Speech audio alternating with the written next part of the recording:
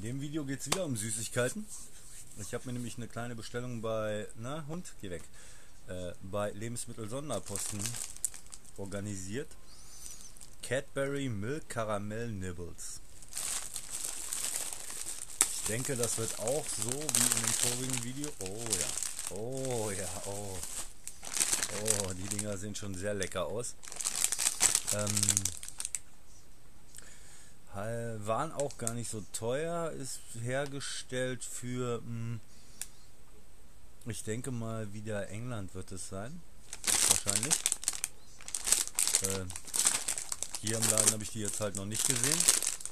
Oh, oh Gott, ich habe sie einfach aufgerissen wie ein Bilder. Und, oh ja. Mmh. Oh, lecker. Oh, die Dinger sind wirklich gut. Milchschokolade mit einer weichen Karamellfüllung. Hm, sieht man? Karamell. Oh. Das ist auch was, das sollte man definitiv hier verkaufen. Ich wüsste jetzt auch nichts Vergleichbares, aber ist wirklich oh,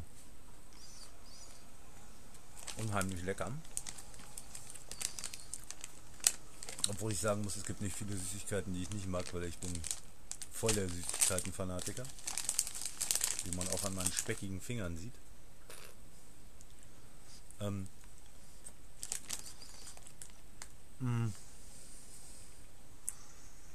ich werde euch die Seite verlinken.